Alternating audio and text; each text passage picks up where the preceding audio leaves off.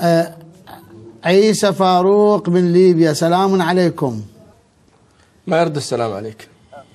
يا عيسى فاروق من ليبيا سلام عليكم قلنا ما لك يرد السلام عليك اعتبرك كافر ما عنده في عقيدته ما. لا ترد السلام لا ترد السلام. لقد أثمت. يعني أنت الآن مأثوم لأن رد السلام واجب.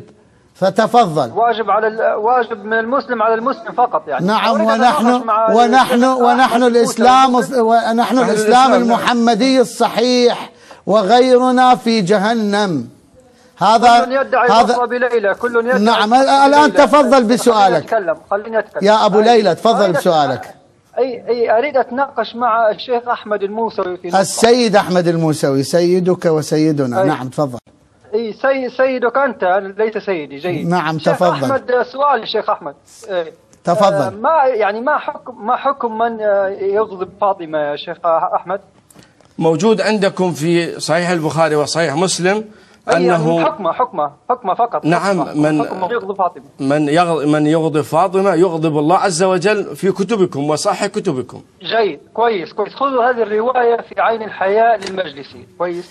في الصفحة 310 يقول المجلسي وروي بسند معتبر عن 310. أبي ذر. كويس؟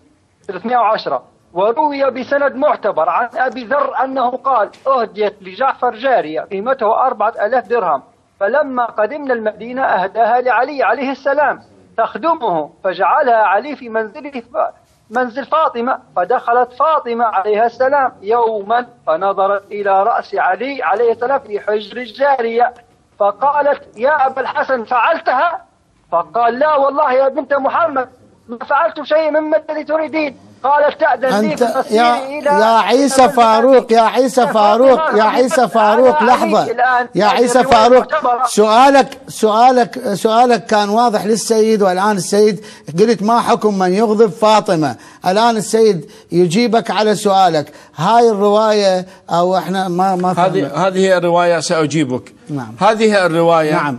سنتحقق هذا منها نعم هذا نعم, هذا سأجيب سيدنا نعم. يكذب كثيرا. نعم شكرا آه، على اتصالك. نعم شكرا. سأجيبه ليستمع.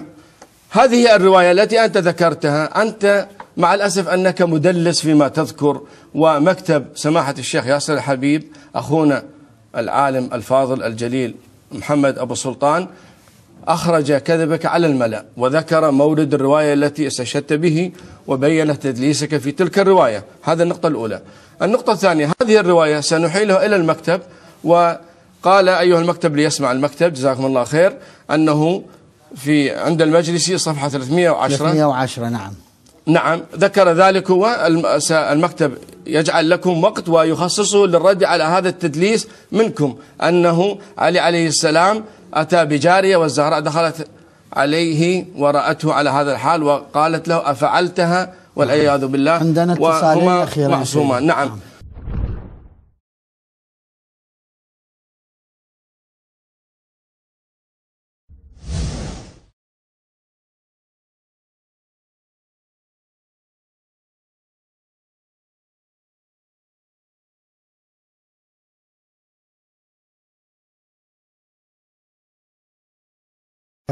نجيب على بعض الأسئلة التي وردت في فقرة لك الهاتف. من ضمنهم مداخلة الناصبي عيسى الفارور آه، أتى بإشكال أو شبهة يعني سخيفة جدا وأوقع نفسه في الفخ كعادته لحماقته وهو أن يقول أن ما حكم من يغضب السيدة الزهراء عليها السلام؟